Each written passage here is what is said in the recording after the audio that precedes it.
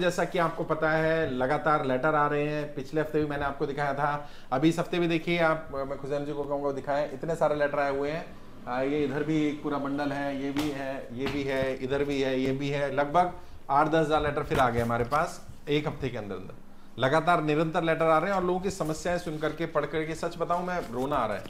लोगों की समस्या इतनी गंभीर है और ज़्यादा अमाउंट नहीं है। अभी जो मैं पत्र पढ़ रहा हूँ, मैं नाम तो नहीं लूँगा व्यक्ति का।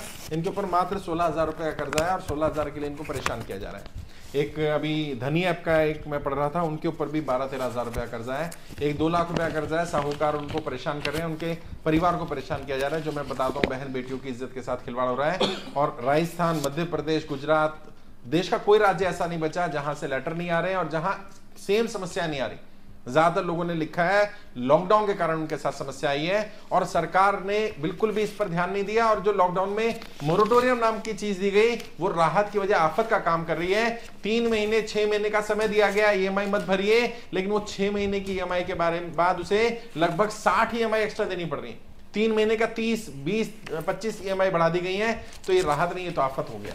और लोगों की जो समस्या है, जिस तरह से हम लोग काम कर रहे हैं, मैं समझता हूँ ये काम जो हम कर रहे हैं, सरकार का काम है। सरकार के स्तर का काम है, ये हमारे स्तर का काम नहीं है। हज़ारों की संख्या में हर दिन लेटर आ रहे हैं, पढ़ने का भी काम कर रहे हैं, उनको कंपाइल करने का काम किया जा रहा है। पीआईएल जो लगाई जा रही है, जो लेटर अलग अलग जगह भेजने हैं, कुछ इनमें से लेटर सुप्रीम कोर्ट जाने वाले हैं, कुछ लेटर प्रधानमंत्री कार्यालय जाने वाले हैं, कुछ मेरे पास जो आए हैं, मेरे लेटर हैं, वो मैं पढ़ रहा हूँ, मेरी टीम पढ़ रही है। लगातार प्रयास कर रहे हैं लोगों की मदद करने का।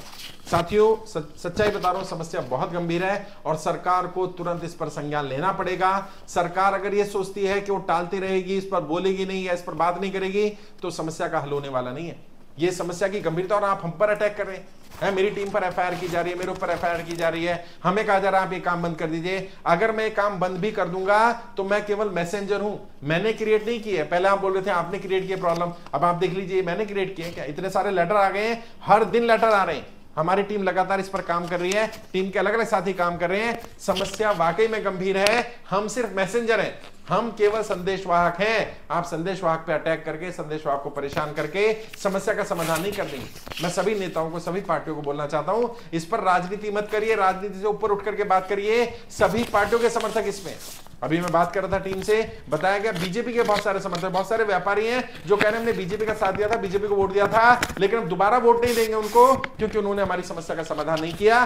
बीजेपी ने नोटबंदी करी जीएसटी लेकर गया लॉकडाउन लगाया, और उसके कारण हम कर्जे दलरे फंस गए। और अलग अलग राज्यों से समस्या आ रही है। अभी हमारे साथ संजय जी हैं जो दिल्ली के प्रभारी भी हैं राजस्थान से भी संपर्क रखते हैं और पूरे राज्यों में जाते रहते हैं। अभी आसाम भी जा रहे हैं संजय जी।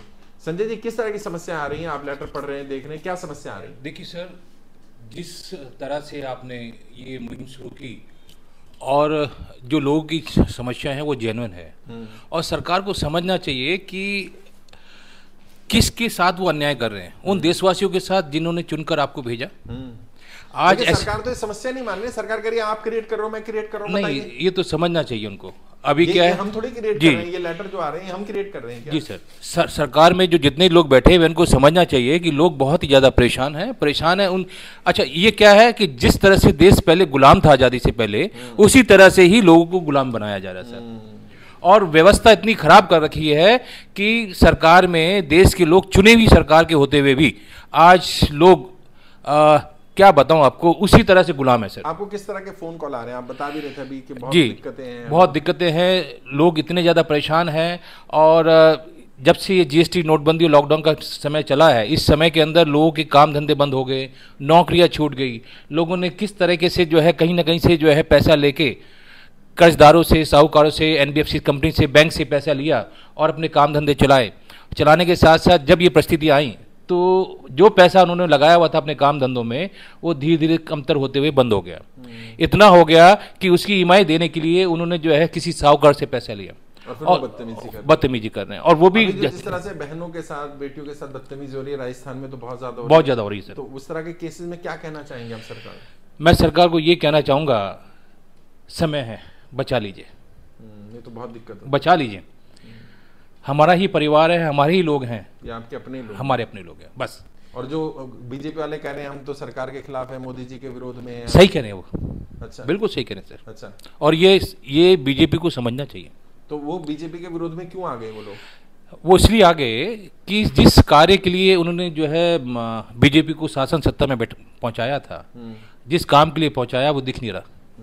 धरातल पे तो दिख ही नहीं अभी बीजेपी के एक नेता है उनके भाई ने भी सुसाइड कर बिल्कुल किया कारण सहारनपुर में। और ये कर्जा तो किसी को देख कर नहीं आता सर। कर्जा तो कर्जा है चाहे हाँ, वो बीजेपी का हो या कांग्रेस का हो आपका हो कोई भी व्यक्ति हो हर एक व्यक्ति आज देश का हर दूसरा जो व्यक्ति लेटर आ रहे हैं इनमें किस तरह की समस्याएँ ज़्यादा आ रही हैं? देखिए लोगों की समस्या एक तो बहुत ज़्यादा तो नहीं नाम मत बताइए बस जी। बताइए। एक तो होम लोन से संबंधित बहुत ज़्यादा है। समस्या आ रही है। एक बिज़नेस से संबंधित बहुत समस्या आ रही है। जो लोन लिया है जो लोन लिया है। बिज़नेस के लिए है काम धंधे बंद हो गए सर इसके साथ साथ इन लोनों को चुकाने के लिए वो कई तरह के ऐप्स से उन्होंने प्राइवेट लोन लिया है। हाँ एप्लीकेशन का ठीक है? हाँ, हाँ। अच्छा इसके साथ साथ जो भी क्रेडिट कार्ड्स हैं एक क्रेडिट कार्ड दूसरा क्रेडिट हर क्रेडिट कार्ड्स का इतना ज़्यादा लोन ले लिया है कि उनकी पेइंग कैपेसिटी उसका डिफ़ॉल्ट कर रहे हैं। कर रहे हैं ना पेइंग कैपेसिटी तो उनकी है ही नहीं। आमदनी तो है नहीं लेकिन देनदारियों को और जो बैंकों की देनदारी है खासकर हर महीने की जो ई एम रेगुलेट हाँ, हो रही तो है वो चल रही है। उसको सिर्फ़ पूरा करने के लिए वो एक कर्ज से दूसरा कर्ज ले रहे हैं। वही दलदल में फंसे दल दल में फंस रहे हैं सर। हमारे साथ हमारी बहन अरुणा भी हैं। अरुणा जी क्या स्थिति लग रही है और क्या लग रहा है आपको? किस तरह के लेटर भी आप देख रही हैं? क्या लग रहा है? सर समस्या इतनी गंभीर है कि अभी मेरे हाथ में इतने सारे लेटर्स हैं और सब अलग अलग राज्यों से हैं। अच्छा। कोई राजस्थान से है वेस्ट बंगाल से है नाम मत बताइए राज्य का नाम बताइए कहाँ कहाँ से है? जी। सर उत्तर प्रदेश से है राजस्थान से है एक लेटर वेस्ट बंगाल से है। अलग अलग राज्यों से है यानी कि ये समस्या जो है वो किसी एक क्षेत्र किसी एक राज्य की समस्या नहीं बल्कि पूरे देश की समस्या देश है। लेकिन सरकार कह रही है हम क्रिएट कर रहे हैं। सर समस्या है ही नहीं। सर अगर कर्ज मुक्त भारत अभियान की भी बात करें तो अभी डेढ़ वर्ष नहीं हुआ है जुलाई दो हाँ, हज़ार बाईस से चल रहा है। महीने लेकिन ये कर्ज तो लोगों के लॉकडाउन से पहले के है ना? हाँ 2018 का एक केस अभी जो है सोलह हाँ अठारह का केस है। इसका 18 का केस है एक का 2016 नोटबंदी का केस है इस व्यक्ति जी का। सर। इन्होंने 2016 का बताया ये 2018 का केस है इनका। तो कर्जे की समस्या यदि हमने ये मुद्दा क्रिएट किया होता तो ये कर्ज तो पहले का था। हाँ हमने तो तो ये- पंद्रह महीने से काम कर रहे हैं हम तो अभी काम कर रहे हैं और ये समस्या के सम, साथ समाधान आता है आप हमेशा कहते हैं तो ये समस्या तो पहले से ही थी। समाधान की शुरुआत अब की गई है। और हमारा यही प्रयास है कि ये जो लेटर्स हमारे पास किस तरह की समस्या ज़्यादा आ रही है लोग? क्या कह रहे हैं? सर एक तो लेटर्स के माध्यम से सबसे ज़्यादा समस्या बिज़नेस वाली भी है। बिज़नेस क्योंकि बिज़नेस के लिए उन्होंने लोन लिया पहले तो लोग अदा कर देते थे फिर सिचुएशन बदली और आज नहीं कर पा रहे हैं। उनके साथ समस्या यही है हर एक व्यक्ति इसमें सर बहुत सारे लेटर्स है जिसमें लिखा था मैं चुकाना चाहता हूँ लेकिन मेरी स्थिति ठीक नहीं है। तो ऐसा नहीं है कि वो डिफ़ॉल्ट नहीं कर- करना डिफ़ॉल्ट चाहते नहीं करना हाँ, चाहते हैं वो। हाँ। तो लेकिन सरकार के लोग ये बात सुने कि जनता डिफ़ॉल्ट नहीं करना चाहती है बिल्कुल सही कह रही जी। और सर दूसरी जो एक समस्या किसानों के साथ भी चल रही है कि कई सारे केसेस ऐसे सामने आए हैं कि पिताजी की मृत्यु हो गई।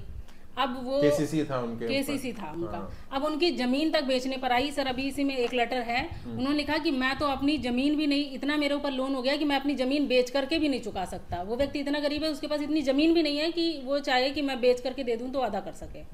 तो समस्या लोगों के साथ ये भी है हम्म। जो अभी बहन बेटियों के साथ बदतमीजी हो रही है सर, हो रहा है। इस तरह के केस भी आ रहे हैं? सर संत कबीर नगर से कुछ महिलाएँ थी। सर उन लोगों की स्थिति इतनी खराब है उन लोगों ने पर्सनली लेवल पे कहा कि आप लोग टीम लेकर के हमारे यहाँ आइए। क्योंकि वहाँ समूह वाला जो लोन दे करके महिलाओं को एक चक्रव्यूह में फंसा दिया जाता है। अब महिला ने बताया कि रात को 11 बजे आ जाएँगे जो समूह के लिए पैसा रिकवरी वाले?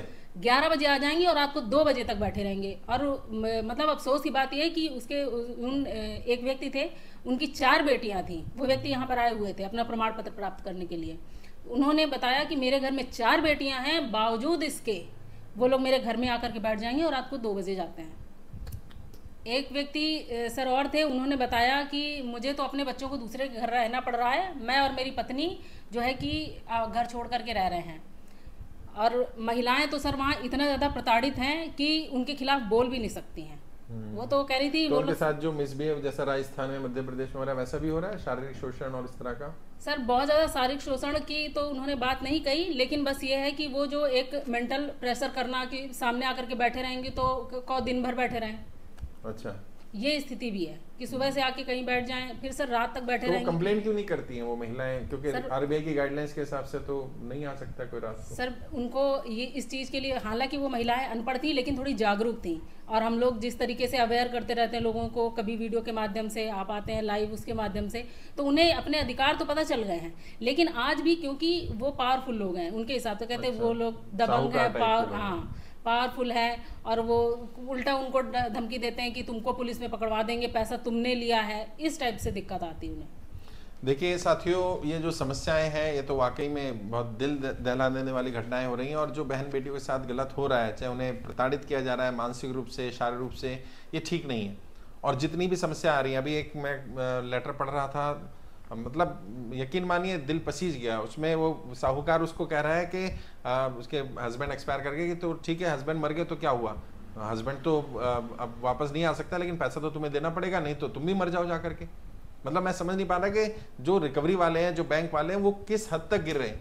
इंसानियत नाम की कोई चीज़ नहीं रह गई और संजय जी जैसा आपने भी कहा मैं आपसे जानना चाहूँगा कि जो आपके केंद्र पर भी लोग आ रहे हैं क्या वो भी इस तरह की समस्याएँ बता रहे हैं? अधिकांश लोग इसी सर अधिकांश लोग इसी तरह की समस्या से रोज रूबरू करा रहे हैं और इतना ज़्यादा परेशान हैं कि देखिए इस अभियान के तहत उनको बहुत ज़्यादा राहत देने का हम प्रयास कर रहे हैं। सबसे बात नहीं हो पा रही है नहीं हो पा रही है। और आप ये मान के चलिए कि कॉल्स इतनी ज़्यादा है कि हर किसी से बात भी नहीं की जा की जा रही है लेकिन जिनके जिनके भी संपर्क में आते हैं। अभी कल ही की बात है रात के साढ़े ग्यारह बजे की बात। एक महिला का मैं बत, बताना भी चाहूँगा मेरठ से कॉल आया।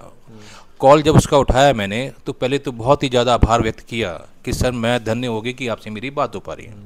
और मैं आपके संपर्क में हूँ आप सभी की वीडियोस देखती हूँ सर की वीडियोस देखती हूँ और उससे हिम्मत करके मैंने सुसाइड किया था लेकिन मैं बाद में बच पाई। और आज जो है मैं जो जी पा रही हूँ, उसी से जी पा रही हूँ। लेकिन दिक्कत क्या आ रही है कि मैंने जो है अपना बिज़नेस अपना काम धंधा शुरू करने के लिए अपने परिवार को भी नहीं बताया। मेरी सास की तरफ़ से मुझे एक पचास गज की प्रॉपर पचास कुछ वन फोर्थ जो था खेत, उसको मिल गया और उसने अपने परिवार को आगे बढ़ाने के लिए एक साहूकर, साहूकार के पास वो गिरवी रख दिया। लॉकडाउन आया लॉकडाउन में उसका काम धंधा बंद हो गया, पूरा पैसा खराब हो गया और वो, जो महिला हैं वो एम बी ए हैं। अच्छा पढ़ी लिखी पढ़ी लिखी हैं। ट्यूशन देती थी लेकिन ट्यूशन भी नहीं दे पा रही हैं। क्योंकि घर में जब ऐसी स्थिति होती है तो घर का वातावरण भी खराब हो जाता है। और जो ये कर्जदार जहाँ जहाँ से उन्होंने कर्ज लिया है वो आए दिन परेशान करते हैं घर का माहौल ख़राब कर देते हैं। तो इतनी ऐसी परिस्थिति में थी कि सर मैं क्या बताऊँ कि बस मेरे दो बच्चे हैं पति मेरे हैंडीकैप हो गए हैं लेकिन परिवार की पूरी ज़िम्मेदारी है। फिर उसको संतावना दी और मैंने कहा कि आप मेरे को निसंकोच कभी भी जो है संपर्क में रहिए। जी। देखिए साथियों अभी संजय जी ने जैसा कहा और बात सही है देखिए जो शुरुआत में भी कहा गया था जैसे अंग्रेज़ लूटा करते थे ना वही सिस्टम बना दिया गया। मैं बार बार बोलता हूँ कि अंग्रेज़ों ने जब भारत को लूटा तो अंग्रेज़ों ने कानून बना करके लूटा। अंग्रेज़ों ने कोई भी काम गैर कानूनी नहीं करा। आप सु, सुनकर हैरान होंगे ये बात। अंग्रेज़ों ने जो भी काम किया वो कानून बनाकर किया। मान लीजिए अंग्रेज़ों को इंडियन की जेब काटनी है। तो क्या करते थे? सीधा जेब काटने नहीं आते थे? पहले कानून बनाते थे, अंग्रेज़ अधिकारी द्वारा भारतीयों की जेब काटा जाना संवैधानिक होगा। अब जब जेब काटी जाती थी तो वो इंडियन बोलते थे, आप हमारी जेब काट रहे हो। तो क्या बोलते थे अधिकारी? नहीं नहीं, हम जेब का काट रहे हैं। हम तो कानून का पालन कर रहे हैं।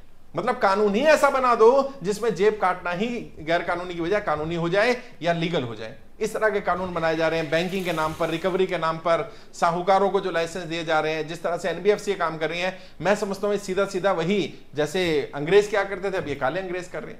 और सरकार को ये बात समझनी पड़ेगी, जनता बहुत ज़्यादा परेशान है, जनता के पेशेंस का, जनता के सब्र का इम्तहान ना लिया जाए, अभी तो लेटर आ रहे हैं।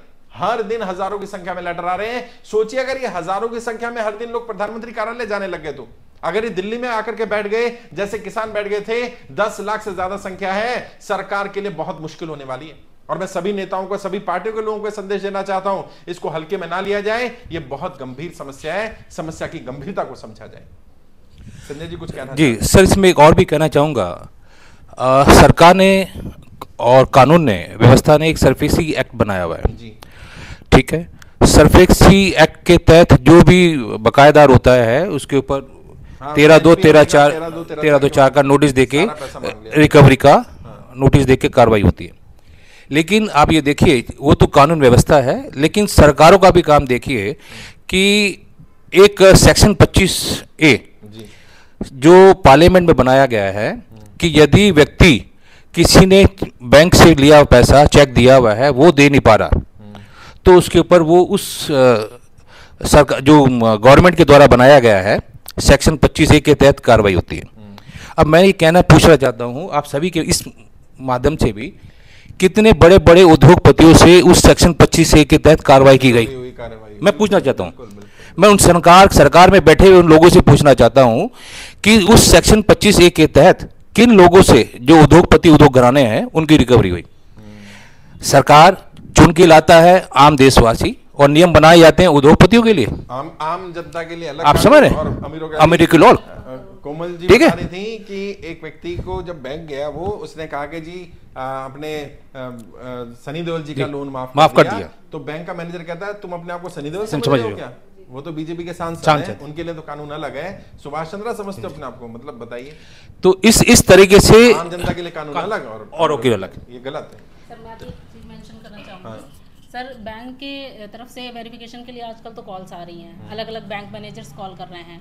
तो एक बैंक बैंक मैनेजर ने मुझसे भी ये बात किया था तो हमने भी उनको ये तर्क दिया था कि भाई इस तरीके से भी चल रहा है बैंकिंग सिस्टम में। तो कहने अरे तो आप ये नहीं समझ रहे कि वो तो सनी देओल हैं? वो तो सांसद हैं। वो तो हाँ, सांसद हैं वो तो हीरो हैं। हाँ, तो हमने कहा फिर एक देश एक संविधान एक कानून और अमीरों के लिए अलग बर्ताव और और गरीबों गरीबों के के लिए अलग। तुमने ऐसे तो नहीं चलेगा ना फिर। हम्म। तो वो सिर्फ़ वेरिफिकेशन के लिए थे लेकिन उनके भी मन में ये बात बैठी हुई है कि ये डबल स्टैंडर्ड फॉलो जो हो रहा है दोहरी नीति हमारे देश में चल रही है उसकी वजह से हमारे देश की जनता परेशान है। बिल्कुल।